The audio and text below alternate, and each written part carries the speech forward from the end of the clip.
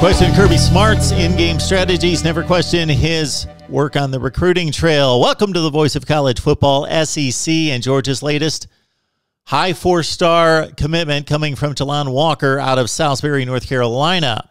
All right, please like the video, share the videos on social media, and of course, subscribe right here so you don't miss any of the content that we provide every day. Jalon Walker is the fourth rated outside linebacker in the country, number two rated player in the state of North Carolina, number 50 in the nation. Georgia's fourth commitment from a top 50 player, their eighth commitment from a top 100 player.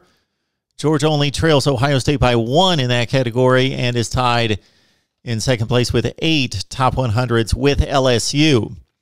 According to Gabe Brooks of the Midlands recruiting um, region for 247 Sports, here's the rundown on one Jalon Walker. Long framed linebacker with good height and very good length. Owns virtual college ready size as an off ball linebacker with frame space to possibly grow into a full time edge player, depending on scheme.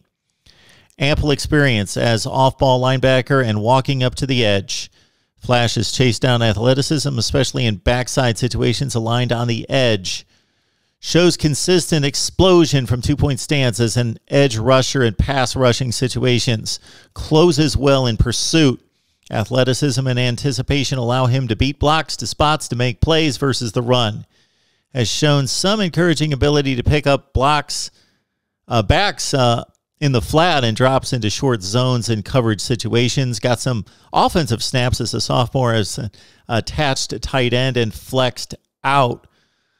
Ball skills included for one Jalon Walker as uh, again highlighted and scout, scouted by Gabe Brooks, a recruiting analyst for 247 Sports. Your thoughts on the Dogs' efforts on the recruiting trail again? It was the third ranked class in 2021 headed toward another top five finish here in 22. Please like, comment, share the videos on social media. If you enjoy the content, others will as well. So please share the videos, help us build the channel right here at the Voice of College Football, SEC.